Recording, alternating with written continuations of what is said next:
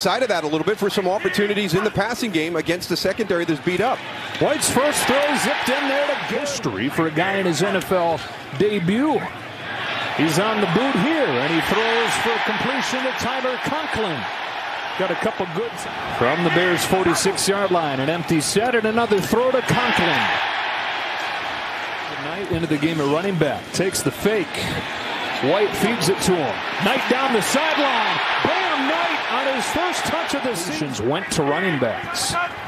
From the 21-yard line, swings it outside. Garrett Wilson got a great block from Kai Johnson in the game for the first time at running back. He angles out, throw to the end zone, and Garrett Wilson has a touchdown.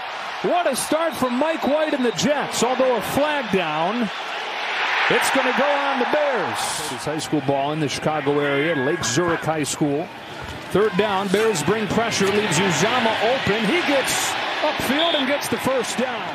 Ty Johnson comes in a running back. On third and nine, they twist up front. White's given time, threads the needle for Elijah Moore. Breaks a tackle. Big gain on his first touch. Moore goes third down and two. Ty Johnson takes the fake. White will dump it to him. First down for Johnson. Eddie A deep drop lets the routes develop. One of his first downfield shots has Garrett Wilson. Makes field goal miss.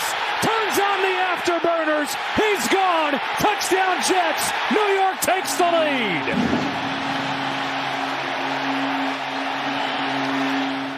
Third down, Bears show pressure and back off.